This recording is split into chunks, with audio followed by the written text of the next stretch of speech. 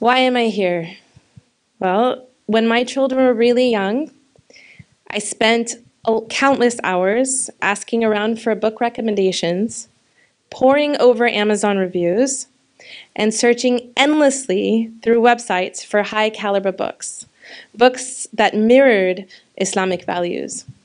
And it turns out, as you can see from the panel up here, that I wasn't alone. With that, after years of reading, sifting, searching, discussions, and planning, I'm excited to share with you a site that we've developed uh, for all of you, our community, in mind. We pray that this tool enables parents and educators to quickly find recommendations for books which build character, teach virtue, and instill in children a morality that, inshallah, will develop or help develop their Islamic worldview. Before I get started, can I see a show of hands if before tonight you had actually heard of Mindful Muslim Reader? Okay, of those that are raising their hand and raise them high, because I, I, just want to get a sense of the room. Um, have you, uh, did you know that we had a website? Okay, and of those that are still raising their hands, did you go to our website? Okay, okay, alhamdulillah, that's good. Um, with that, let's get started. So at Mindful Muslim Reader, you'll find over 200 book recommendations at the moment, with many, many more on the way, spanning all ages and genres. Each of these books on our site have been read cover to cover using our rigorous review process and rating process that we took years to develop. Let me begin by showing you how we've classified our recommendations. At the top of our homepage, you'll see books by values, struggles, age, and genre. Let's start with books by values. So, as parents and educators, say you're looking for a specific book to teach a child the value of service, whether it's service in the home, it's service in the neighborhood, it's service to the community you can actually look uh, with uh, sorry without expectation and this is the big one without expectation for anything in return and you could select service and find books that actually help build that um, value in your in your child or in the child that you're reading to or you find yourself wanting to build in a child an appreciation and respect for Allah subhanahu wa ta'ala's creations and, no, and the knowledge that Allah subhanahu wa ta'ala has blessed us with. You could select reverence. Perhaps you're looking for books beautifully highlighting a prophetic example in a male role model, such as providing for the family, working hard, protecting women and children, controlling anger, and being the most gentle and kind to members of his family. You would select manhood. Or you find yourself in need of books that beautifully show strong female role models, nurturing and working hard to raise, um, to, to uh, nurture the people in their family, or to, I guess, uh, yes, uh, help, help with the family, showing mercy and being graceful. You would select womanhood. In addition to those values, we have values such as courage, patience, humility, generosity, and gratitude. Now, we've also grouped books by struggles. And to understand uh, what we mean by struggles, I'd like to give an example. As we know, children learn through stories. Perhaps you've seen your child, a child in your care, struggling with social interactions at school. They need help understanding the consequences of intimidation or discrimination. You would select bullying. Or you see that a child is making choices that they normally wouldn't, only to fit in. Then you would select peer pressure.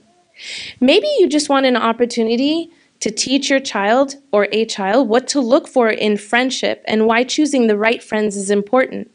You would then select friendship. Of course, we have other struggles here. Take, for instance, boredom, something we all know children struggle with. We need to be able to teach children that it's okay to be bored. They don't always have to be entertained, despite the nature of our society today. In fact, we need to teach them it's okay to be quiet, to be still, to reflect. And you would use books uh, under boredom.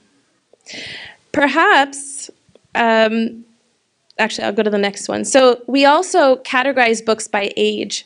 Now we have uh, books for 0 to 4, 4 to 7, all the way to 15 plus. This is really helpful if you have an avid reader and you want to ensure that there's appropriate content in their hands, free from modern ideologies. You could look for books this way. We keep things, themes and language in mind when uh, grouping books by age. We have um, also grouped books by genre. Pretty standard, but I wanted to call one to mind, uh, one to your attention, specifically biographical. Today, children are bombarded with images and messaging from pop culture icons and social media influencers that can build a damaging worldview. Here you can find biographies of real life heroes that direct our ch children's hearts and minds towards admirable character traits and ideas worth learning. In addition to these four categories, we also have book lists. Uh, sorry, audiobooks. So at the beginning, at the top of our book list, we have audiobooks, and there's a fantastic way of building listening comprehension and reading skills. But reading skills start by listening, by learning the vocabulary, by listening vocabulary. So they can be fantastic for car rides, but they can also be great to listen to while doing chores, doing Legos, or working on art projects, something that I have my kids do. We also have book lists for books that'll appeal to, uh, to girls and books that'll appeal to boys. Calling to attention our gold star list.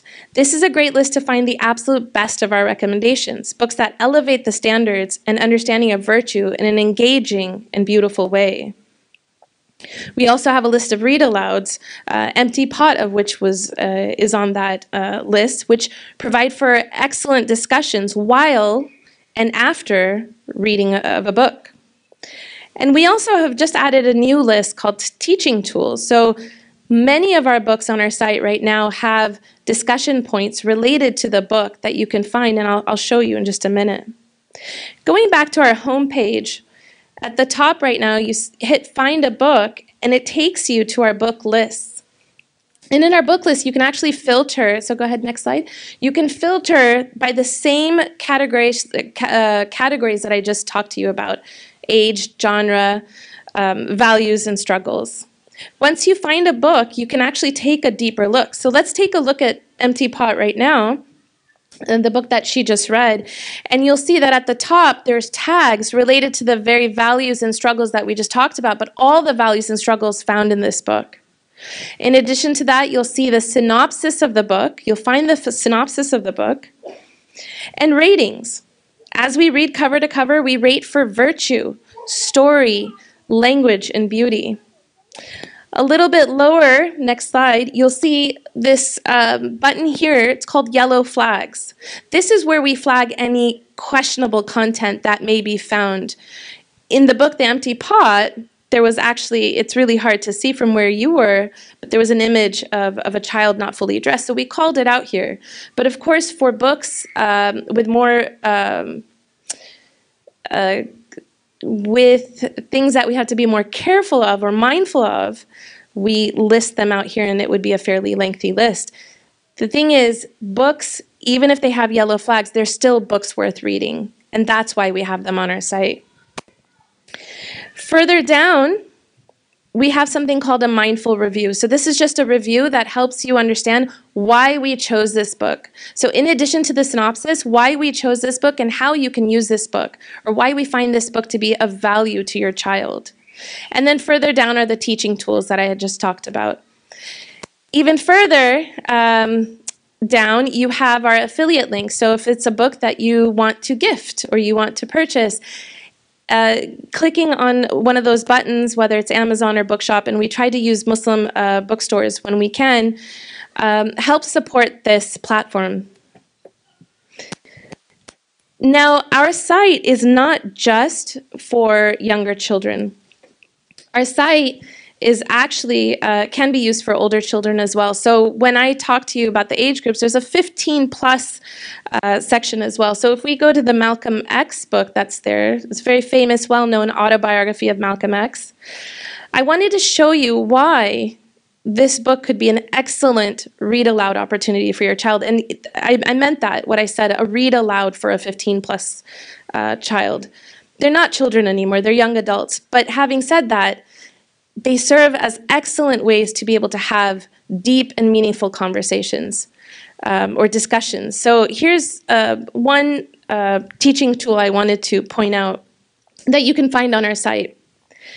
The word Islam means submission, submission to God. Malcolm says the hardest test I ever faced in my life was praying, bending my knees to pray. That act, well, that took me a week. You know what my life had been. Picking a lock to rob someone's house was the only way my knees had ever been bent before. I had to force myself to bend my knees, and waves of shame and embarrassment would force me back up. For evil to bend its knees, admitting its guilt, to implore the forgiveness of God is the hardest thing in the world. Discuss how Malcolm's climb out of the state of depravity began once he submitted. This is an example of one of the teaching tools that you can find on our book. And this is also an example of why reading aloud to even 15 plus year old young adults is so crucial as they're out there in the world learning ideologies from the world around them. Where do you want them to learn these ideologies? In the home with you or out there? Things that you have to think about. Beyond our book list, we have a space where you read, uh, where we have blog posts on how to nurture a reader in our home, and we have extended book reviews. We pray that this platform serves as a useful tool in providing easy access to books which nurture our children's worldview one book at a time. I hope, inshallah, you have a sense now of the type of books you'll find on our site. Still, I want to give you peace of mind of the types of book you will not find on our site books that uh, show atheism, disrespect towards parents, elders, tradition, and authority, books that showcase or highlight scientism, the non binary view of gender, moral relativism, and individualism.